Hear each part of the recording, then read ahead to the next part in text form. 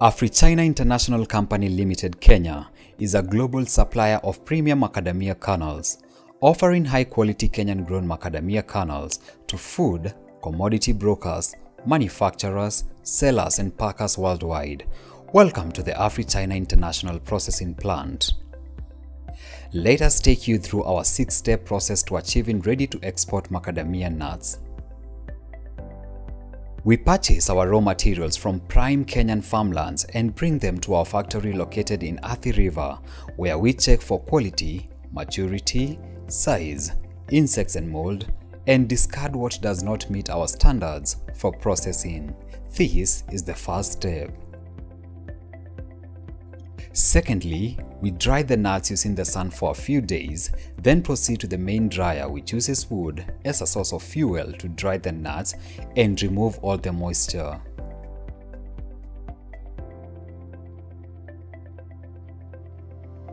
Three.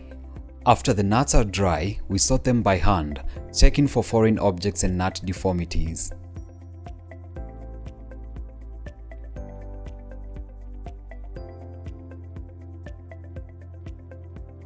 Our employees always wash their hands before touching the nuts, thus we uphold high hygienic and sanitary standards at our factory.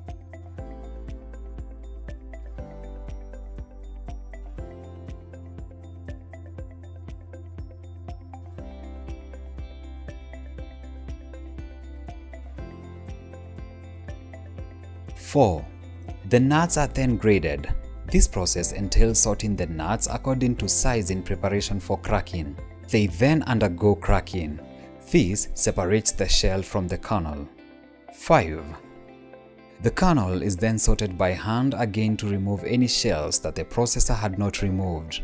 Our quality control inspectors conduct a visual inspection to ensure all kernels meet AfriChina International Macadamia's quality standards. The kernels go back into the grading machine for sizing from fine granules to premium whole nuts. The sized kernels are collected into bins and after this, the nuts are packed in foil bags that are sealed by nitrogen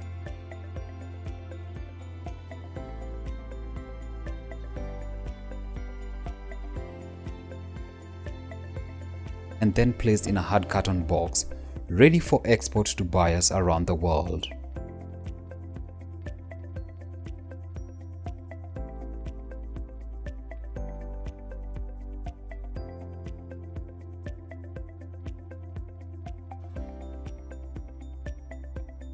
AfriChina International adheres to the highest standards for macadamia nut processors to ensure our nuts are safe for consumption. HACCP certified, BRC Food certified and FSSC 22000.